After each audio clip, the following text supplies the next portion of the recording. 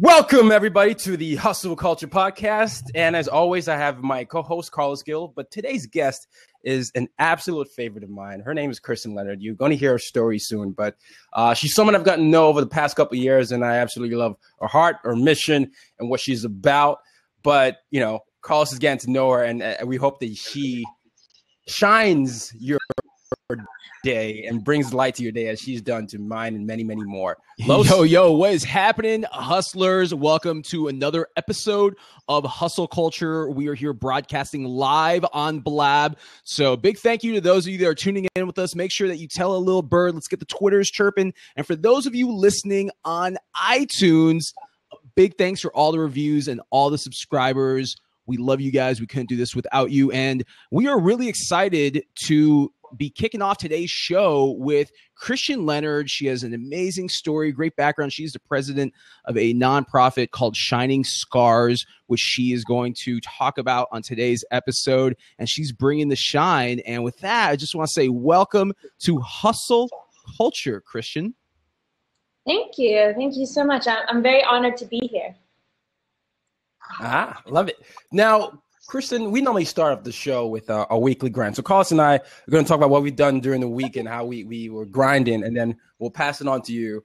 But you know, I want to age before beauty, my friend Carlos. age before beauty, Carlos. You know, I'm, I'm the second youngest in this on this hey, I'm, interview. I'm the here, old so. of the podcast and of the group here today. I'll, I'll take it. And I'm a baby.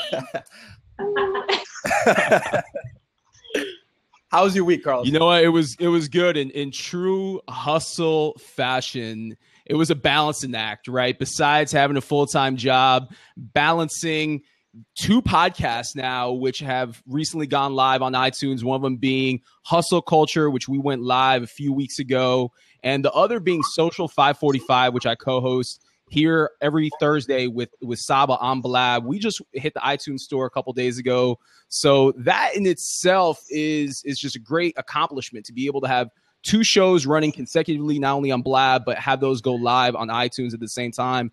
And you know, for me, mm. it was uh, it was actually a monumental week because it marked seven years since I lost my job in the banking industry back in 2008 and you know, for me to be able to look back on how far I've come in those seven years and all the trials and tribulations and be able to dust myself off today and see I'm a much in a much better place as a person and as a professional.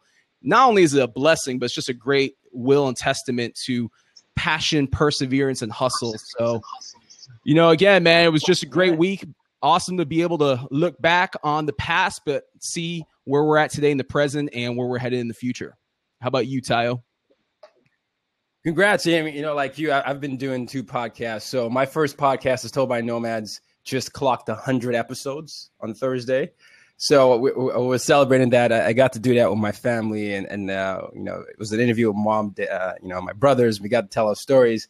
So that, that was quite the achievement because it was surreal. Because I I realized I didn't know I was approaching 100 until I was at 90 something, and I was like, wow, I'm actually the 100 episodes, and this started as a a little dream, and obviously it led to UYD Media and all that. So it, it was great to, to to get to see that. Um, and then I unashamedly live in the best city in the world, New York City. so this week, this week I decided to uh, take advantage of that and go meet uh, more than five people. I wanted to do something, so I got into uh, a few networking events and I got to meet, really embed myself in society of like-minded people, and it was great. It was great. It's something I don't get to do a lot because I'm always busy, and sometimes I, I tend to forget right. uh, the world around me. So it, it, was great to do that. So you know, it was the podcast uh, celebration for that, and just acknowledging that, and then you know, again to spend time with family um, virtually since I'm always right. traveling. But and then, then, the last thing was uh, um, also taking care of myself uh, physically because one of the things that you do, and Krystian knows this, and you know this, is you travel a lot, and you sometimes one of the things you can neglect is, your physical well being. So I, I, I, made sure I did that, and um, oh, I started my first book of the month. I'm doing something where I read a book a month, so I just started my first book of the month. It's the recent New York Times bestseller from our mutual friend Lewis Howes, yes, sir. School of Greatness.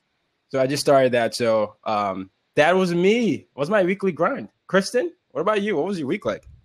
My week was pretty busy. I had exams to study for. I go to West Virginia University and I'm a freshman. So I was able to do that. Uh, mm-hmm. Last weekend, I went to a family day held at our mountain lair, and I was able to sell my children's book there and see all little kids dressed up for Halloween and visit with their families. Um, I also had been going through some health issues, and so this week was my first week back into working out and eating healthy and doing that. Introducing myself to the dean of my school and um, being able to be accepted by our president, Gordon Gee, and how much he appreciates what I'm doing for my community and for the school. And just being able to talk to my professors about what I'm doing, about my TED Talks, about doing this interview with you guys today, and how excited they are for me to have a student who is going above and beyond to really make their life successful and to hopefully um, give WVU a better name. Love it. Love it. Love it. I mean, obviously, you do a great job, you comedian. And that gives us a great segue, right, to the first question, Carlos. You want to take that? Yeah, you know, tell our listeners here on Hustle Culture and those that are watching here on Blab, tell us a little bit about you and your background. So you're young, you're in college, but you also have a great story of how mm-hmm. you got to where you're at today with starting your company or your organization, which is Shining Scars. So tell us a little bit about the the background behind that. Well, my journey started out as being bullied as a young child because of physical scars that I had. I had surgeries growing up, and so with that, being able to have stitches or bruising and different things like that, the kids saw me sort of like Frankenstein. And so they would call me different names and stuff. And after a while, I was being beaten down by my bullies. I sort of accepted what they were telling me. And then Miss West Virginia came to my school one day and she told us that we could be anything that we wanted to be. And I felt like she was looking right at me and that that gave me hope for one time in my life, for once in my life, that I really could go out and I could change. I could change their perspective or their opinion of me, and I can do this. I want to be Miss West Virginia. Mm-hmm. And so that seemed to be a like big joke in my school and around my peers. But then as I got older, you know, I decided to overcome my bullies. I overcame the stigmas of my scars. I overcame the stigma of what beauty and perfection is in today's society.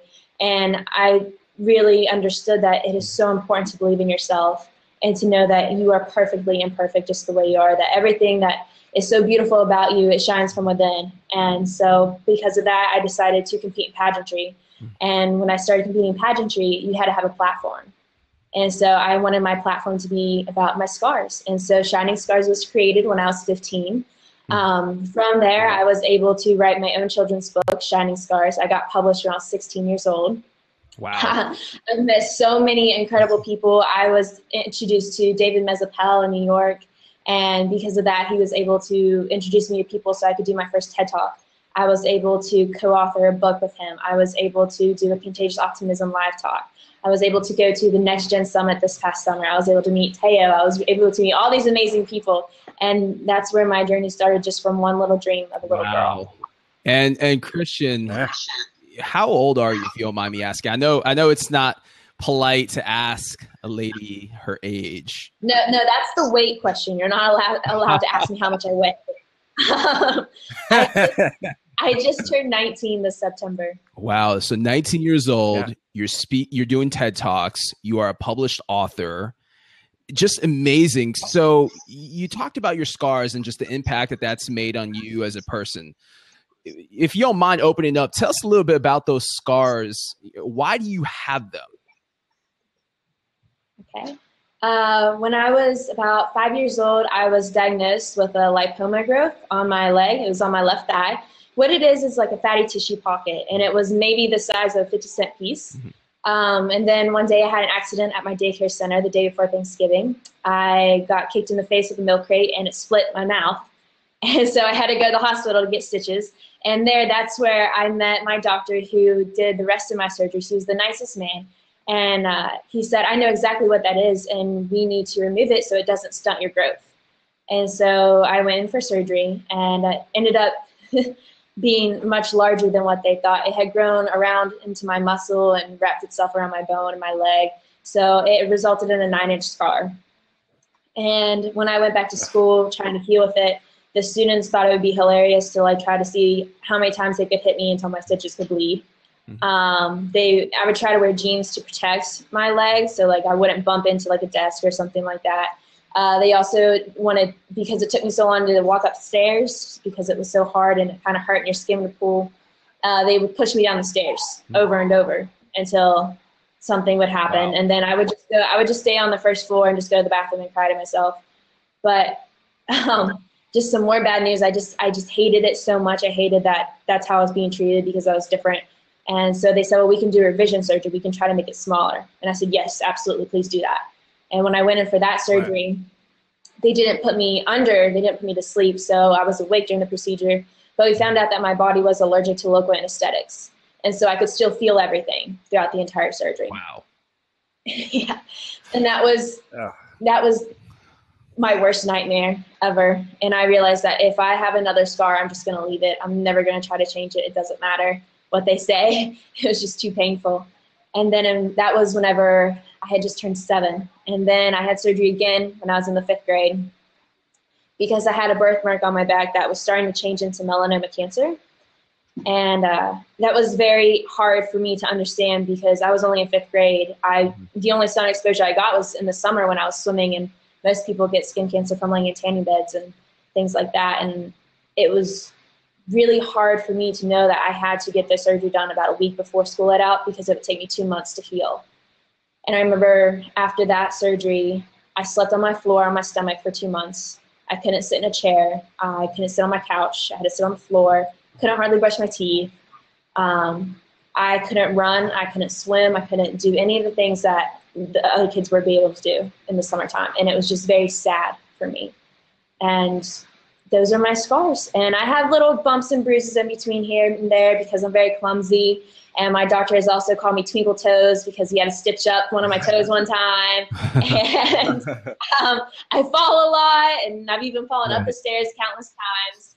But, you know, it's just who I am as a person. And now I've been able to love my scars. I love the story behind them even though some people see it as sad, well, now I'm turning it, it turning it into something positive, and so that no other child has to go through what I went through with their physical scars.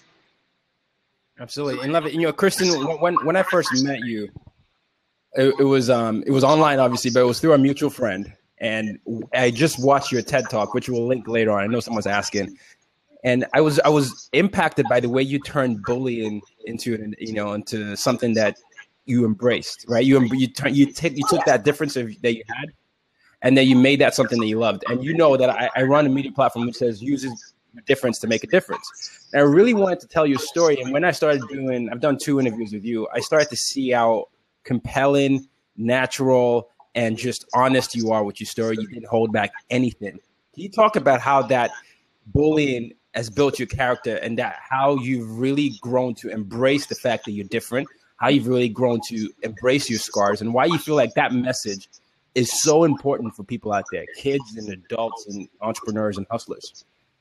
I really feel like there's way too much pressure on children and teens right now mm-hmm. to be perfect, to be Barbie, to have the however many Instagram likes you can get or how many followers you will have. Um, I think there's way too much pressure on them to feel beautiful and to say, one year you have to have you have to be so skinny that you have to have a thigh gap, and then the next year, no, you have to have all these curves, or dyeing your hair with ombres, or shaving your head, or doing this or doing that, and just really just putting pull, pushing your body through things that aren't natural. And I think that a lot of children think that that's the only way that they're going to be able to stand out. That's the only way they're going to be popular. That's the only way they're going to have so many friends. Whenever all those likes and all those followers, half of them are empty. And it's just really sad because they don't know who you are as a person. They don't know how great you can perfectly be. And children who are impacted by bullying need to find their inner star. So I feel like my nonprofit right. is there for those children to understand who they are as a person and that they, that they can be something great just as long as they believe in their dream. I mean, whenever I was in sixth or seventh grade, way after I said I wanted to be Miss West Virginia and all the students laughed at me, if you would have said that I would have competed in pageants, I would have laughed at you and said, yeah, okay. in your dream, buddy. Um, just because I wasn't confident in who I was. And it, I remember one year growing up, I told, I looked at myself in the mirror and said, I'm going to lie to myself one time every day in the mirror. My very first lie that I ever told myself was that I was pretty. And then the next hmm. day I said I liked my hair. And the next day I said I liked my outfit. Or the next day I said I'm going to get an A on this test. And I repeated that for 365 days until I finally started believing it. And then I finally started seeing who I was as a person. And it wasn't what those bullies had told me.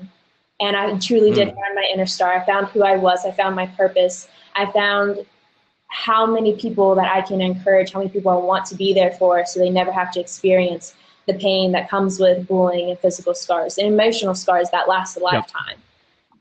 And I yeah. really want. No, and you know. Go ahead. Go ahead. Go ahead. No, no, go, go, go ahead. Go ahead.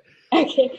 And I, I just feel like I can really be a voice for the social change about the stigmas of beauty and perfection.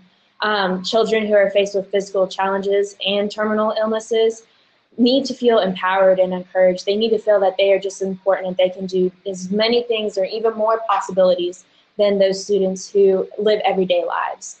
And I feel like we need to teach those children to love themselves from the inside out. Because I know how hard it is to try to love yourself from looking on the outside in, and it is horrible. It's terrible. It's not an easy job. And so I think that once we show them who they are as a person, then I think that this society is going to change as a whole. Absolutely. And, you know, you talked about bullies right now, and there's so many bullies today in the um, virtual world. They're called trolls. now, your your story is, is so interesting because you were bullied, you were made to believe you were not beautiful, and then you flipped the script and then you became a beauty pageant, which is the complete opposite. You know, you you were you were competing at this, and, and I imagine as you competed in this, I don't know if you had a moment where you would talk to yourself like, "Wait a minute, I'm actually here. These are people that are considered beautiful by by the rest of America, and I'm here." Did you ever have a moment where you were thinking um, it, it conflicted with your message, or do you ever have people coming and tell you why are you saying this and doing that? Because I I know you as a person personally, and I know how true you are, but I also know how cruel people can be and lack of understanding that they can do. Do they think, oh, what are you doing? This is not your message. Then if you had that, how do you deal with that? Uh, how do I deal with it? Uh, usually, whenever people come up to me, they, I, they haven't heard my story yet.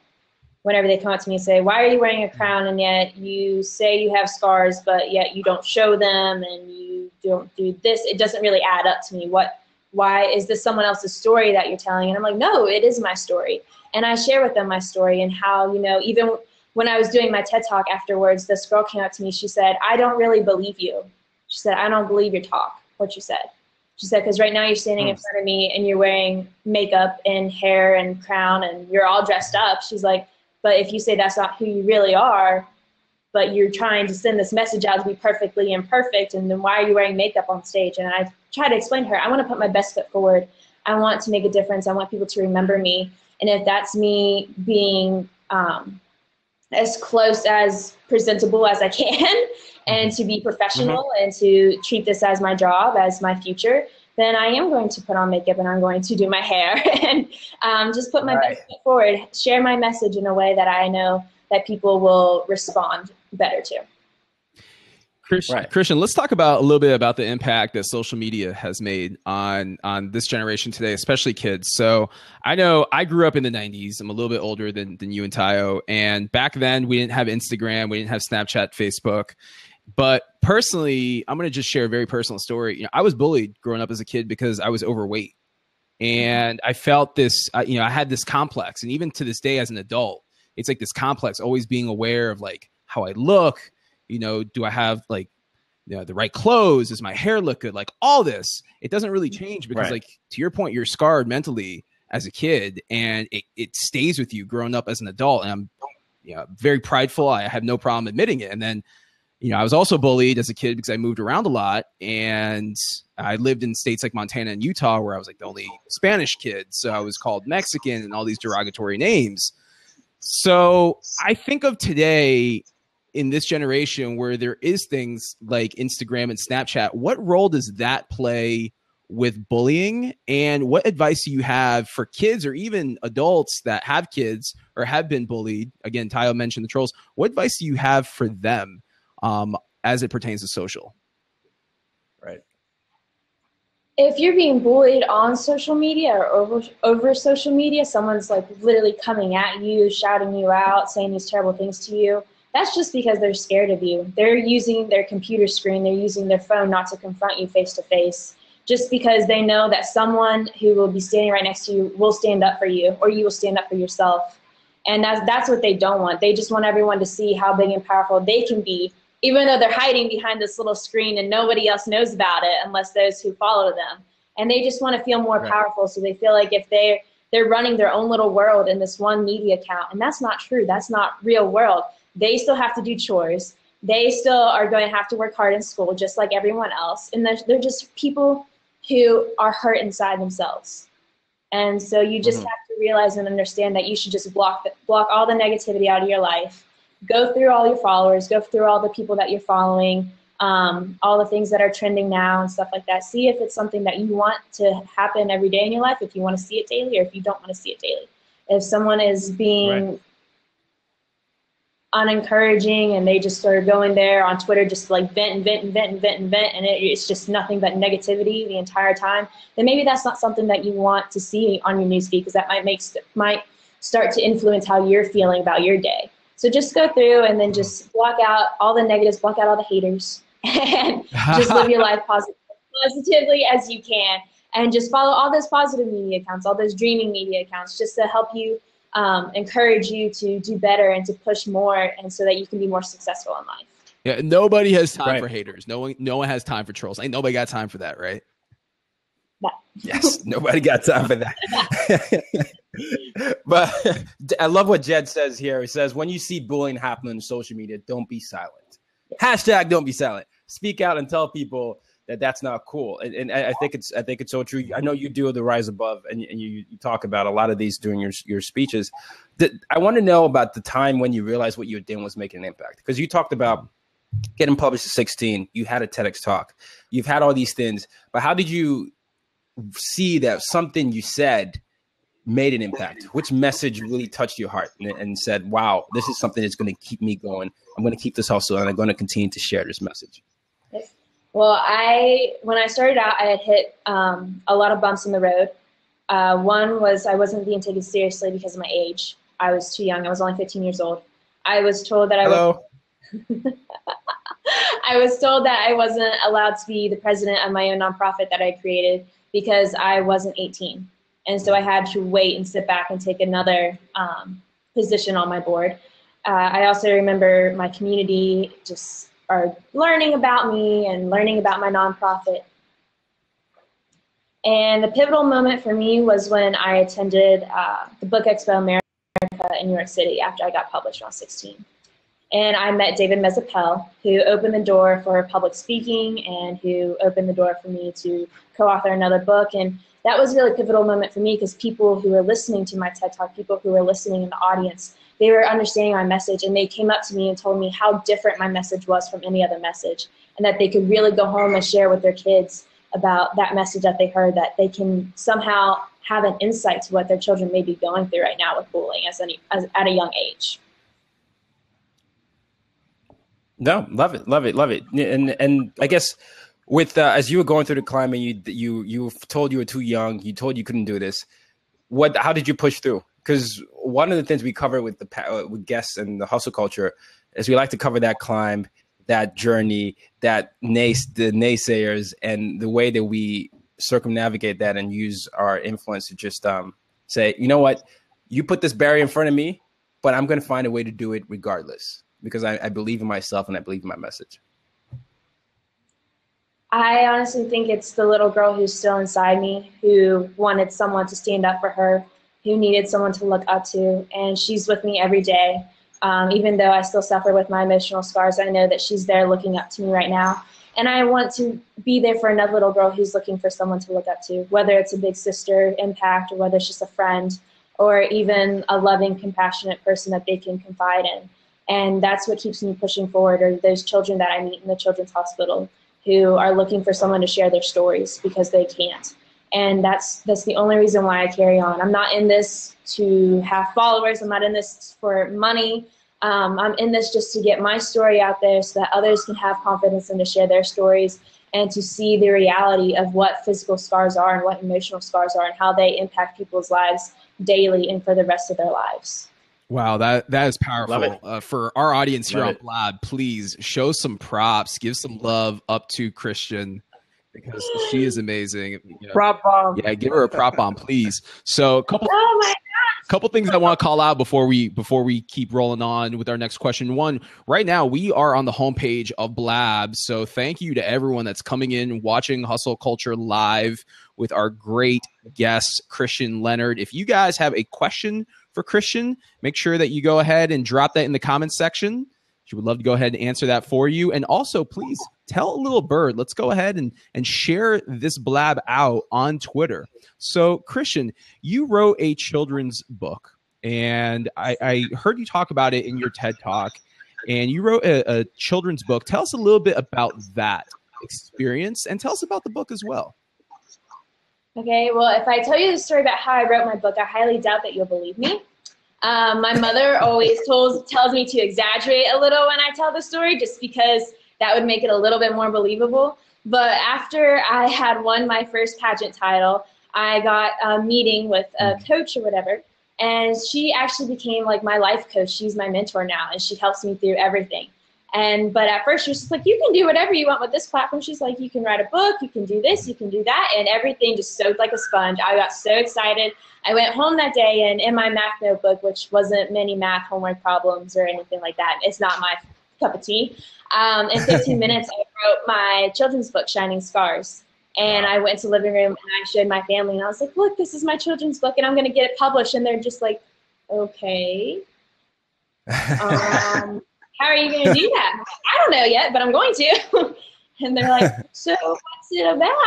I said, well, it's about a little star. And I go on and tell about my little story. And um, my dad's best friend was there watching football with him. He's like, you don't have a name for your character. And I was like, oh, then I'll name him after you. And his name is Eugene. And so little Eugene is a little star, okay. a little star. And mm. uh, he, he accidentally, he doesn't listen to his mother. So he flies across the sky too fast and falls on the moon. And he gets a crack, but then she takes him to the hospital, and they do tell him, you know, you will have a scar, and it's right there on his face. So he's all freaking out, and he's nervous about what his friends are going to think. Are they going to treat him any different? Are they going to ask him a million questions? And he's trying to avoid the whole situation. And his mom tells him, you know what, don't worry about it. She said, they're going to love you the way you are. And he wakes up the next morning and his scar shines brighter than the rest of his body. And then he's not scared anymore because it's absolutely amazing. And he cannot wait to show his friends. And so he goes, and the very last page, which is my favorite page, he taught about how it glowed and he taught about how it shined. And all his little friends said, Look at mine. So they were all hiding scars from each other and they all came together and they were all able to share their fantastic stories about how they got their scars. And to me, that was just very, that was a very important ending because I wanted everyone to see that everyone does have a scar whether they hide it or whether they don't. Everyone has a story behind it. And as a little kid, it's kind of exciting to hear where those scars come from. I know when I make my children's visits, I let the kids guess where I got my scar from. So at one point, I was on Mars fighting aliens. Um, the next moment, I got eaten by a shark. Um, That's awesome. I was also in, I was also in a rock and roll band, and I was climbing trees one day and I fell. Um, so just to hear their imagination and just to under, for them to really think that my scars are cool just so that they can have that memory. So later on, if they meet someone with a scar, they won't um, treat them differently than how they are. They'll ask them, hey, what's that story behind there? Without actually being like, so why do you have that? And it's just like the way you say it and the way you present yourself and the way you fully accept people who are different than you. Krystian, that is real talk. So you are a published author, you're a speaker, you're the president of your nonprofit, you're also a student and you're 19 years old. You have such an amazing future ahead of you. So tell us a little bit about the impact that you feel that you've made on someone else's life. Give us, you know, if you have an, an example of someone that you feel that you made an impact on their life, give us an example of that and also tell us about how everything that you've done in a short period of time how that has impacted your career and your life to this point um, i can I can definitely say I've been able to impact several people in my community just because I am a small town girl. I care about community, about my community.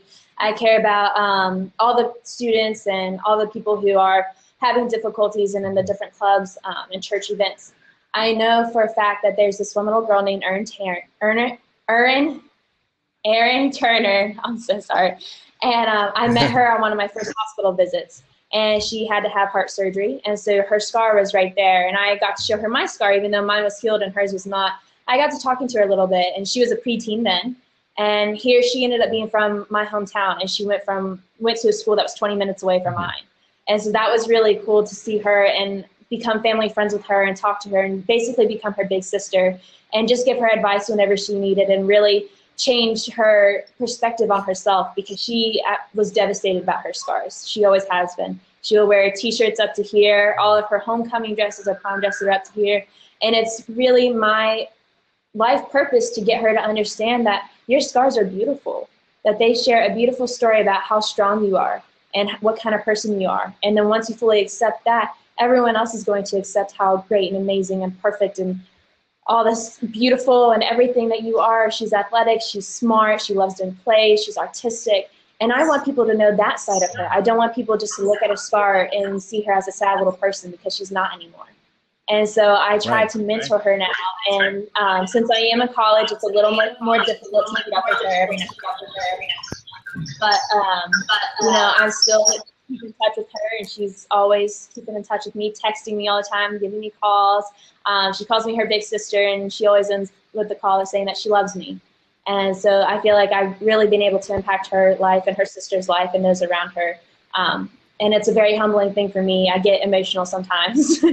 and uh, I just really want to be there for more kids. I want to be a mentor for several students, whether they're boys or girls. Um, this journey that I've been on has impacted my life in a tremendous way. I can't even I can't explain how humbling it is just to have a dream one day and then just to have a little bit of luck, a little bit of faith, um, yeah. just to keep on going, keep on pushing. I was told no so many times. When I first wanted to have this nonprofit, my mother told me no. My parents said, no, you're not going to do this. It's too hard. It's not worth it. Why would you mm-hmm. want to do something mm-hmm. like that? And I'm saying it is going to be worth it. It will be worth it. This is something that's so personal to me, is something I can really connect with, something I can really, really be passionate about and want to do for the rest of my life. And it is. And I've been able to prove that time and time again. And because of you guys and all of your support and your friendship and reaching out to me, wanting me to be on here today, you guys are the reasons why my life is so impacted because it's been filled with nothing but positive people this entire journey. And I'm so grateful for that and all the friends that I've made. And it's impacted the way I see myself, the way I see um, my society, my college, my everyday life, my personal and professional. I, it just changed. It changes everything for the better, and I would do it all over again if I could. Love it. Now, speaking of surrounding yourself with positive people that make an impact, who are three people that are the most impactful in your life? Three people who are the most impactful in my life. I would have to say um, my board members, who I just had a meeting with this morning. They have been there from the start. They've always helped me, pushed me, um, encouraged me, whether they were family friends at first or, you know, my mental coach. They were always there and they were always telling me just to keep going, going, keep on going. If someone out there is going to say yes, someone will be able to share this, share your story and it'll blow up and be something amazing. and right now, to me, whenever I just got my book that was something blowing up into being amazing. I was not expecting that at all. Um, of course, my younger self, who I keep with daily, I keep pushing on because of her. Whatever I come across a mountain, I tell myself how hard it could be to climb up and how easy it could be just to turn away. But then that little girl inside me, she says, You don't need to climb the mountain, just push through it. And so then I do that on a daily basis. I push through and I push through and I push through just for the other little kids who are looking up to me, the other future children of this world who may not even be here yet. But if your children are able to grow up in a society where damaged is okay and not being perfect and being flawed is absolutely beautiful, then their children are going to understand more about who they are as a person on the inside. Um, also, the children uh, in the children's hospitals that I meet, every time I go there, I'm just truly inspired by their stories, by their love, by their compassion. You know, sometimes I'm just in there just to be a friend and to hold their hand because they don't want to talk or I'm there for their parents and to confide for them to confide in someone from the outside and to really know and understand the pain that they're going through and understanding or even understanding the joyous moments whenever a child is told that she doesn't have terminal cancer anymore and she's been healed. And that is just an uplifting moment. It fills my heart so much. And usually when I go to those hospitals, I, I never want to leave. I want to stay there for hours. I want to read books to these kids. I want to play games with them. I want to learn everything about them. And so I've been able to do that over the years. And also uh, my family. are big supporters now. now that they truly believe in me and they see now they see how great of an impact it's been on me and my life. They they want nothing more than to help me continue to be successful in it. No, that's good. It's good. And uh, Carlos, before you, before you go, I just want to ask this question. I, I, know this has been asked before. We you go to a lot of events. You have a platform. Meet a lot of people. But I'm curious as to how you you you take the best out of these events. Because sometimes when people go to conferences and events where they're speaking or participating, there's a stigma that says, ah, you just collect cards, you don't connect, you don't actually meet people. But you seem to have a purpose to what you do. So I'm I, I want to know at the events you go to, what is your mindset behind that, and what do you always hope to achieve to uh, to help advance your cause?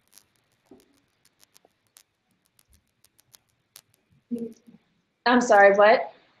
Sorry, we were breaking up over there. I was saying at the events at the events that you go to, what is your mindset when you go to these events? How do you seek to connect with people, and how do you make sure that aligns with your purpose? Oh, I keep an open mind. I know whenever I go in there, I'm going to talk to as many people as possible. Um, I'm a mm-hmm. very much so people person nowadays. I want to know who they are. I want to know their stories. I want to know what they're doing with their life, um, and how can I help them? How can I encourage them? So, like when I went to Next Gen, I was thinking to myself, you know, there's going to be a lot of people up here who are self-made millionaires. There's a lot of brilliant people who have been dropping out of Harvard.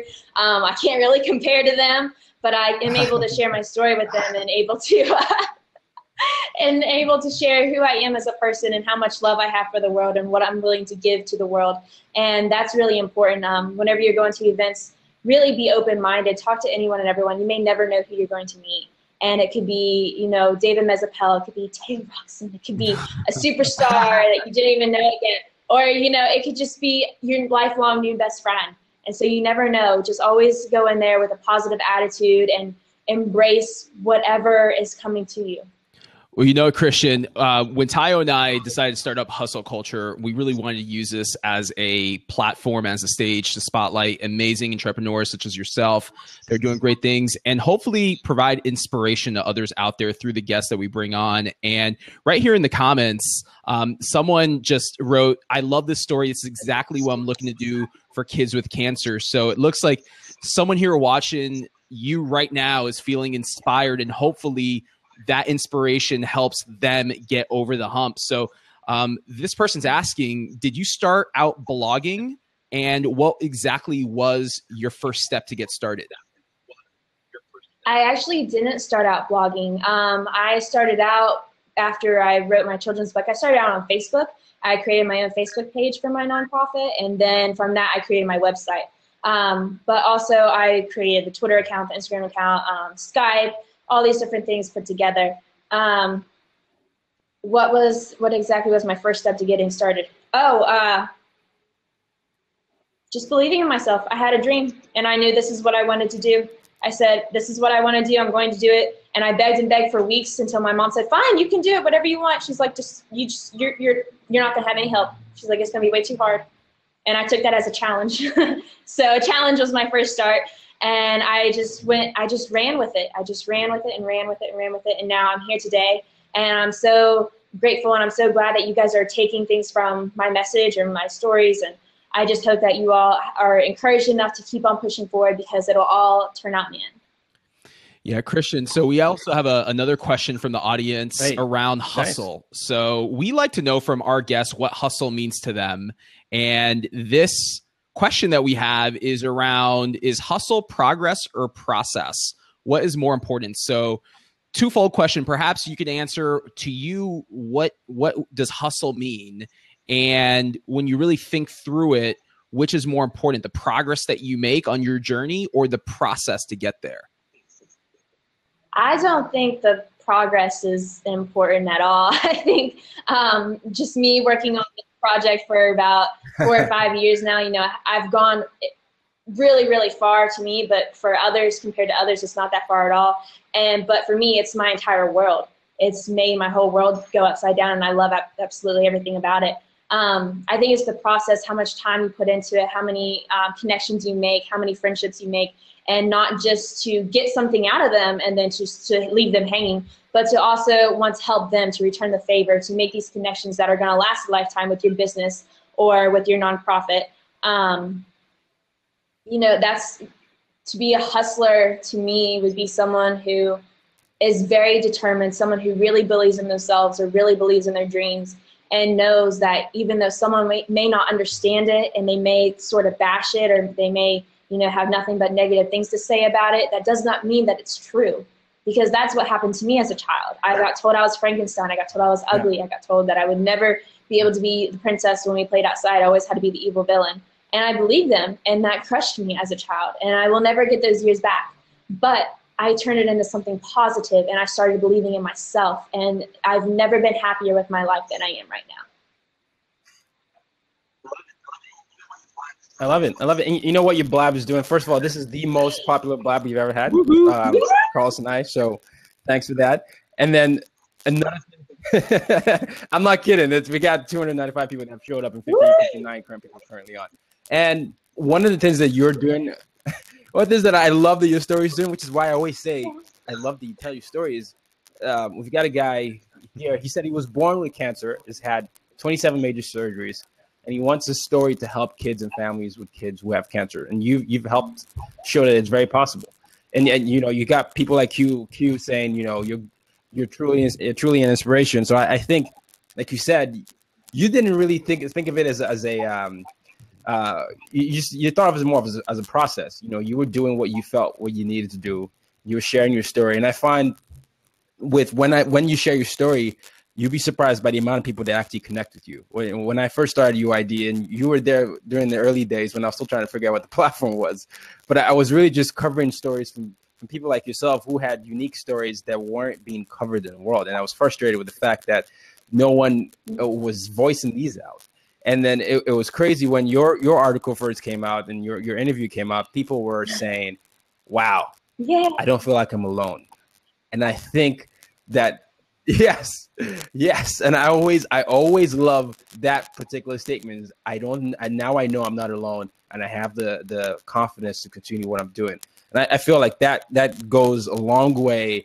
Whether you're building a business, whether you're spreading a message, whether you're you just want to do an impact. We, you and I, we, we joke about how we love Tim Tebow, even though I personally don't necessarily think he's a good, good football player, but I love the fact that he, he did, he does what he does regardless, right? You've got people like that who are doing that, you know, whether it's in, in sports and all that. So I, I want you to sort of talk about those individuals, the celebrities that are doing it the right way? Because I know we've had several uh, conversations about that. And tell me why you love them. Oh, well, the list could go on and on about people who I find inspiring to me. Um, some are a little cliche. yeah, who are but they? as it's okay. It's okay. right now, um, I knew growing up uh, as a preteen and a teenager that I really looked up to Taylor Swift just because of her role model and always empowering young girls to be who they are. She also empowered um, a platform about reading at one point. and I remember that entire summer I did nothing but read because Taylor Swift said that it was good for my brain, and I believed her. Um, What's your favorite Taylor and, Swift and song, one of if you don't mind me asking? Her favorite, my favorite your song. Favorite Taylor Swift song. Favorite Taylor Swift song. Shake it off. no, we don't. We don't. We don't need to shake nothing on here. Um, my favorite song of hers. Oh, I don't know if I've heard it. Oh, it'll probably be Romeo and Juliet. Okay. Because I'm a mush gush. I'm a mushy kind of oh, person. I, I don't know. But I, I remember watching her video as a little girl, and she had like the horse and the white gown, and I was like, wow, she really is a princess. Um, and I big, so, t- Tayo and I are big Taylor Swift fans, just in full disclosure. Ooh. Huge. say it. Say it. All right. So you, you got T Swift. T Swift um, doing All right. Um, uh huh. uh, I also. And uh, I'm thinking. Oh, I like Jennifer Lawrence. Yeah. Um, I think that she is a big person to stand up for who you are as a person and to not let other people destroy your image just because it may not be something that they like or something that they're used to. Um, I like all of her roles. Well, not I haven't seen all of her movies, but in her role in the Hunger Games, I think she really stands up for a lot of people for a lot of different reasons, and she stands up against the stigmas that she may face and the obstacles and stuff um, even being a celebrity and how hard that can be and challenging just to try to separate your personal and professional life and yet she's there juggling it all and making it possible. And so I really um, enjoy her message and I enjoy her being a celebrity that says, you know, I'm I'm not trying to be super skinny. I'm trying to be strong. I'm trying to have the best body that I can have for me and to be healthy. So I don't do these crash diets or um, I don't just like juice or anything like that. She actually eats real food. And she mentioned several times, you know, I'm a real person. she said, and I'm going to treat my body like a real person, like the average day person would. Yeah. Um, but like I said, she also puts her best foot forward and she wants to um, improve herself and improve her um, business and how she um, gets different jobs in the TV world. All right. Well, so T Swizzle and, and, and J Law are both great inspirations for women. You're an amazing woman. I, I, I want I want your opinion on, on ways women can be highlighted more. Um, you know, I'm, it, it's one of the things that it's always fascinating to me because women comprise more than half of the, of the, world's population. They have such an influence, yet their voices are not as heard as they should be. Whether it's tech, whether it's even you know, J- Jennifer Lawrence just wrote a, a nice op-ed on the fact that even in Hollywood they're not getting equal pay, and just because she's not negotiating that or that, and just the stigmas that come with being a woman who's in leadership position. You're one who has got an amazing following, amazing influence. How do you feel like um, women can get more of a platform and more of a? I think it all starts with them believing in themselves. Um, yes, I'm sure there are several women out there who aren't getting equal pay, and they do get hurt about it, or they get um, very angry. Um, but they don't present themselves in the best way possible. Like if I if I were to go to a job and I'm not getting paid as much as um, the next person, and he's a male, I'm not just going to go up to my boss and start yelling at him and not understanding why I'm not getting as much pay for him. I need right. to build myself up. I need to build other women up. Um, you know, women today we mainly see each other as very competitive. Um, I know growing up in high school, all the girls were always competitive of each other about how they looked, about how much money they had, things like that. And that lasts up into the adult world. And I think that women are just so focused on tearing each other down that they're not focusing on the only thing that's going to change is building themselves up, coming together as a whole. And I feel like that is one thing that is going to change, that is going to give them a bigger platform to speak, a bigger voice, is that them coming together under terms that are very, um, you know, well, they're very well known and yet they're appropriate and that they are going to sort of do a um, non-violence sort of protest and just to be able to be there for each other back each other up and just to say you know this isn't right and we're here today and this needs to stop right you know so one thing that really stood out uh, right. Krystian right. early on is you had made it known that everything that you do it's not about money it's not about fame it's really about your passion. And, you know, oftentimes I say the most successful people in business are the ones that put passion over profit. They're the ones that really pursue their passion and the money is going to come. The recognition, it's going to come because that's a byproduct of success and the success is a byproduct of the hard work that goes into it. So, yes, again, at such a young age, you've accomplished a lot. So, tell us where does Krystian Leonard go from here? What can we expect to see from you? What can we expect? Well, uh, I still, since I have been signed to iCube, a speaking company, and they're representing me as a speaker now. So I will be wow. making several trips. Both of us. Go ahead. No, no, same. Both of us. We're on the yeah. same team. I'm glad to have you aboard. Yes, super awesome. IQ. Um, and then, so I'll be making different speaking events and still sharing my story. Uh, I am also going to sort of collaborate a sequel to my Shining Stars book. Um, different stories about little Eugene and many adventures that he's going to have. Uh, also, I still am planning on competing in pageantry, so you may watch out and see me on the Miss America stage and the CSA stage. You may never know. Um, and then, you know, just spreading the word around my state, around the nation, even international, how important it is to believe in yourselves and to find your inner star. Uh, also, you know, hopefully I'll be able to get um, even more book deals and being able to co-author even more books, meet more people, go to other conferences and to meet fantastic people there and do more podcasts and do more interviews like this. Like this is really awesome. I've never done anything like this. And it's been my favorite thing all year. Um, That is great to hear. Oh yes. But yeah, so just and you know, I, I am still going to be in college, so I'll still be a student and still working very hard um, to get my grades up and to graduate with my degree and my minor. And so I'm just going to live life to the fullest. I have a feeling and enjoy. Everything. I have a feeling that you will be not only Miss America, but you will be Miss Universe. Oh, thank you. oh, I have a feeling that she's going to be a voice for yes. women, children, and people who want to just step into their light. And I have a feeling she's going to be able to make that impact. Um, and you know, and that's what I said. I, you guys are all seeing why she's one of my favorite people in the world. I've been saying this consistently. I told I told Carlos, I was like, Los, look, she is amazing. You don't understand. Her heart is so much better than than anything you read, and you're starting to see. you're starting to see why. So, okay, Carlos, before, before you ask the, the Shark Tank question, this is one one thing I want to ask. One thing I want to ask here is talk to that person right now who who is being bullied and who wants to just just step out of, of their own way, who's like thinking of giving up, who's thinking they're not enough. Just say something to them. I would say, you are beautiful. I see who you are on the inside. I see your pain. I see all the memories that you have. I see all the emotional trauma that you're going through. I know the emptiness that you're feeling, the feeling of no one has any idea what I'm going through. No one will be able to help me because they don't understand. No one has a clue who I want to be. I don't know who I want to be. I don't even think this world was made for me. I don't belong here. I don't like myself. I don't like who I am. Nobody else likes me, so why am I here? And you need to understand that all of those negative emotions just need to go away, and you have the power to push them away.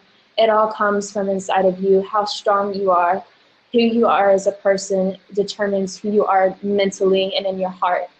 And remember when I said when I looked in the mirror and told myself 365 lies, you can do that too if that if you think that's going to help because it helped me and it helped me realize that you are out there and I want to help you and I want you to share your story with me. I want you to be able to have a conversation with someone and not be so self-conscious that you're constantly picking at your hands or at your hair. You just stay very quiet and you don't make any friends. I don't want that to be your life. I want your life to be something that's full of happiness and love and compassion. And I want your life to be something that is incredible and that you wouldn't be ashamed to tell your story. I want you to feel so confident within yourself that you're able to look at yourself in the mirror when you wake up and just be okay with what you see, or even be happy with what you see. I don't want you to go to bed thinking of all the things that you could have changed, all the things that you think that surgeries are going to change or rumors are going to change. The only change that you need to make is the positive change in yourself. You need to know how much you are loved and how much you can be loved by yourself. And I believe in you. And I believe that you can do whatever your dream is. My dream was laughable when I was 10 years old, and no one believed in me. When I first started out with this whole process, my parents told me no, that I couldn't do it. There was no way, that I was too young, and that it was too hard. But I'm here today to tell you that it's not. And because of you, and if you believe in yourself, you're able to do so many things with your life. And that you will be able to love so many people and help so many others who are going through the exact same thing that you are. And I don't want you to give up. I want you to stay strong and I want you to shine from within. Wow. that is that's some real talk right there. um, yeah. Thank you. Uh, I, I, yeah, I don't know. I'm, I'm yeah, I was, I was basically, I'm, I was about to be almost tearing, I was tearing up. I, I don't know. Carlos, Carlos, you're gonna, you're gonna have to continue, Carlos, because I, I was, I can't, I can't really say anything right now. So you're gonna have to continue. But wow, that was, uh, yeah. So Krystian, yeah. you were amazing, Carlos. and I see, I see now why Tayo holds you in such high regard, and. uh Wow, thank you so much for for joining us here on today's episode of Hustle Culture. Before Thank you. Absolutely. Before we let you go, we have this uh, we have this segment called Hustler's Pitch.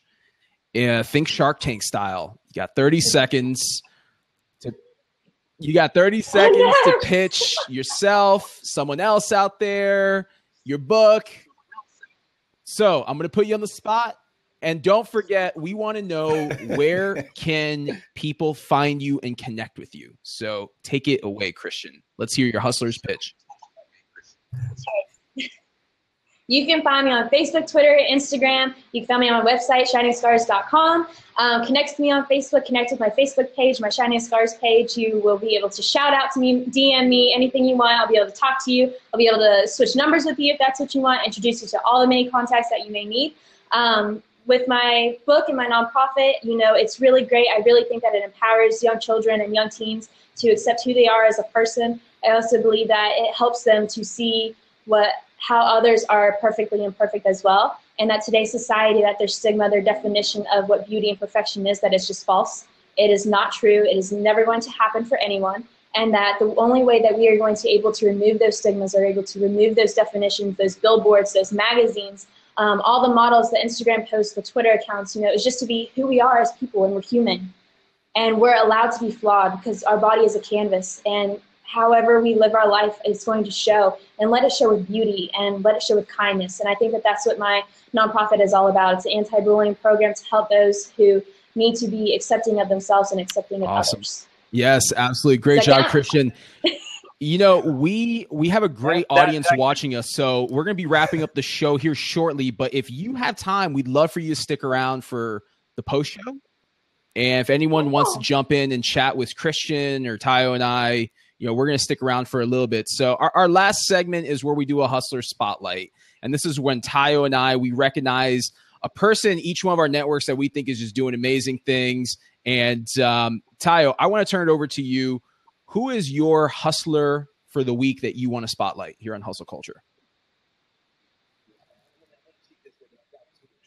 All right, Go I'm gonna, I'm gonna cheat this week, and I've got two.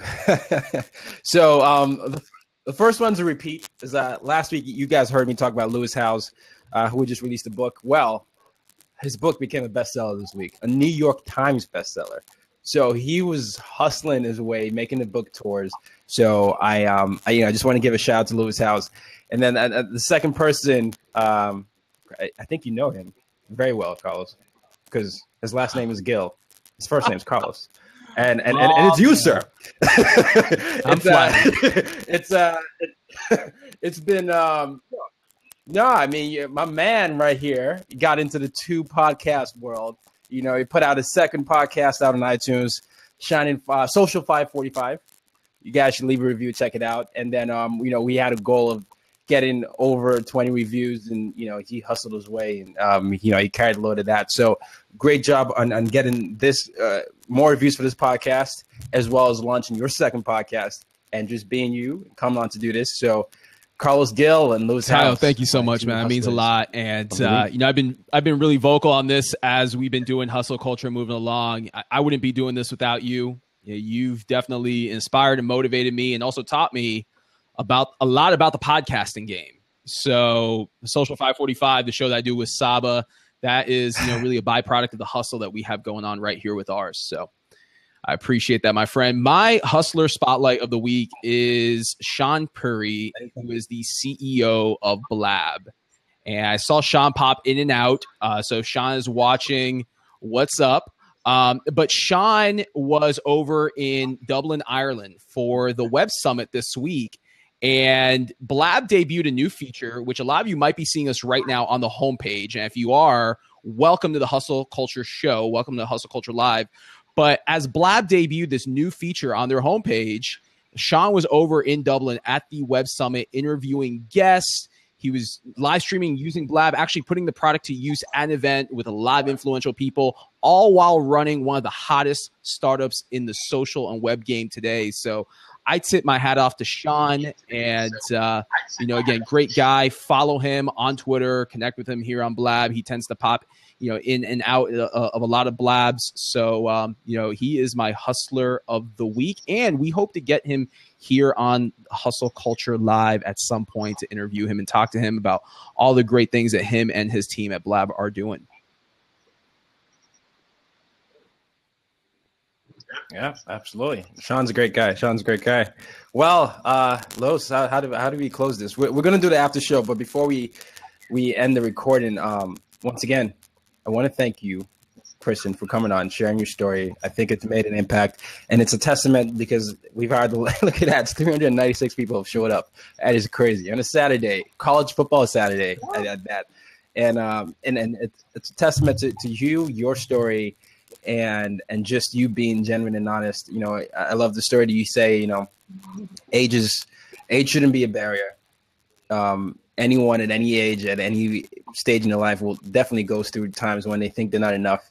And your powerful message, which which still has me recovering and, and trying to talk in a normal way, is is one that that, that, that will go Yes, down will. in, in hustle culture history as as as easily the most uh, the most powerful uh, closing we've had. So thank you for coming on.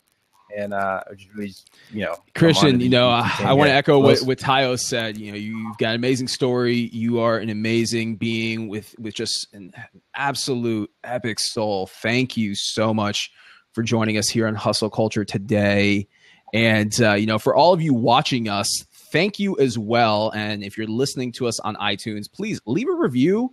Let us know what you think of this episode, and we'd love to share your reviews and your feedback with our guest, Krystian Leonard. And please make sure that you follow her on Twitter, on social media. Check out her uh, her organization, uh, Shining Scars, and uh, I am sure Krystian will be doing more things with you as we progress with hustle culture. So once again, thank you.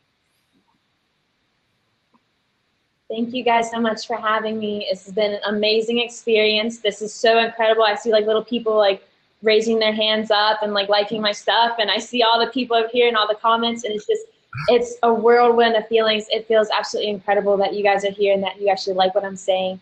Um, thank you guys for giving me this opportunity. Um, I guarantee you that because of you, so many more people are able to be confident within themselves and are more encouraged on a day-to-day basis. And I know that you both encourage me, and I both look up to you all as inspiration to keep on pushing forward and to keep on hustling, just because you guys never give up on your dreams, and you guys are absolutely incredible, and you're more than just business partners and business connections. You guys are my friends, and I wouldn't want to have it any other way. So thank you guys so much.